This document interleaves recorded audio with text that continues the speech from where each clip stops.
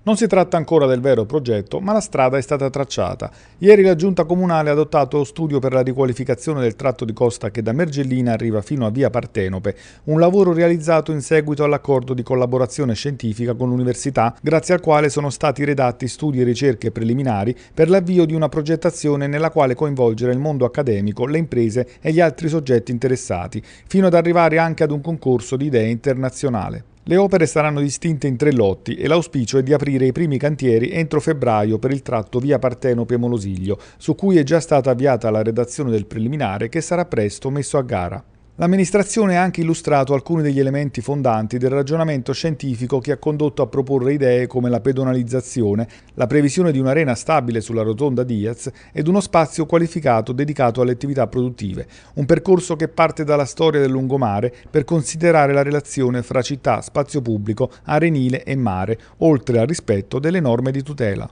progetto di lungomare, eh, questo qua è l'inizio di un dibattito, nel senso che adesso si apre una fase rapida però importante perché ci sarà eh, l'apertura molto laica, molto seria e molto vera nei confronti di tutta quella parte della città che vuole offrire un effettivo contributo. Che il progetto di lungomare ha una sua razionalità, questo diciamo, l'abbiamo in qualche modo anche sviluppato non solo con la sovrintendenza ma anche con gli altri enti, cioè quello di dare un'idea di lungomare eh,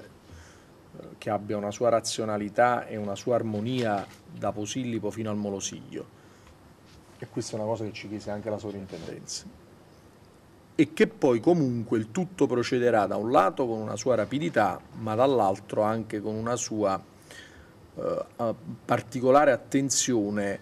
eh, al territorio, cioè nel senso si va per lotti in modo tale che la parte più delicata per la mobilità della città, cioè quella diciamo via Caracciolo, via Acton, sarà l'ultima parte riqualificata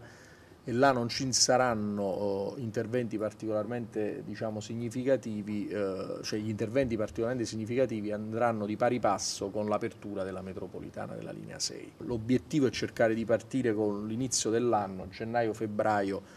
con i lavori, quindi con il cantiere di Piazza Vittoria Morosiglio. Nel momento in cui finiscono i lavori, come io spero per marzo-aprile 2014, la città e il mondo capirà che significa quando parliamo di un lungomare liberato riqualificato, cioè che già adesso è il lungomare più bello del mondo, quel tratto riqualificato sarà un colpo d'occhio. Il tratto da Borgo Marinari a Molosiglio, i cui lavori si faranno contestualmente a quelli di Piazza Vittorio Borgo Marinari, si può prevedere una pedonalizzazione meno diciamo, radicale, perché ovviamente ci sono delle, delle vie di accesso e quindi si può lavorare su una modulazione diversa. Poi non so se Piscopo l'ha detto, se non l'ha detto lo dico io, in questo progetto c'è l'arena su Rotonda Diaz, che era quell'immaginario straordinario della Coppa Davis, che noi vogliamo fare stabile, cioè noi vogliamo fare un'arena che sia l'arena della musica, della cultura, del teatro, insomma un luogo stabile che ospita eventi. Poi immaginiamo una pedonalizzazione, anche questa radicale, che vada da Rotonda Diaz diciamo, fino al, agli imbarchi, dove noi vorremmo costruirla quella parte soprattutto per le attività economico-commerciali. Cioè noi immaginiamo che là si apra un bando innanzitutto per gli operatori della zona, ma non solo, cioè quello di prevedere un luogo del commercio qualificato. Con oggi noi andiamo a definire la tempistica quindi se tutto va come deve andare, noi per la primavera 2015 abbiamo chiuso.